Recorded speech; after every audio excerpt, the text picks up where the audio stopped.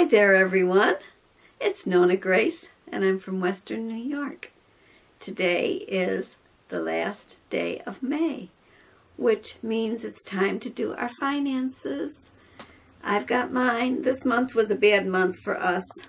It would have been a good month, except we had to pay um, our house insurance, and we had our auto insurance that we had to pay.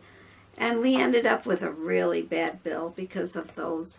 But otherwise, the month was really good as far as our expenses go, except for those two things. Had to add them in. I hope yours was good too.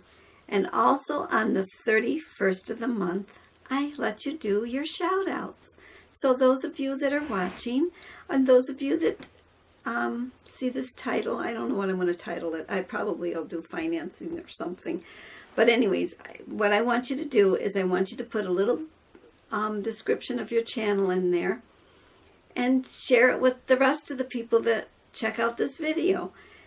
And they just may go and visit you and like your what your content is. And if they do, they will subscribe. And that's it for today. This is really short, really, really short. So, and I'm I'm making it early tonight because I'm hoping this is me hoping.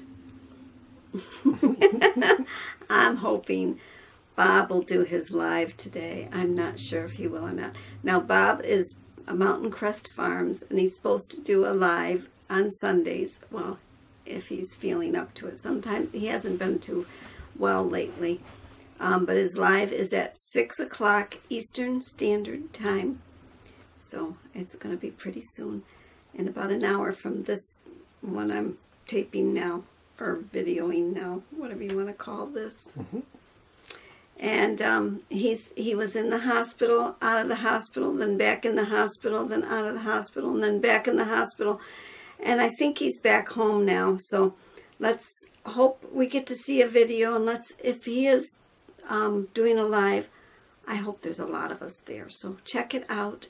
You may learn something because he tries to always have a topic.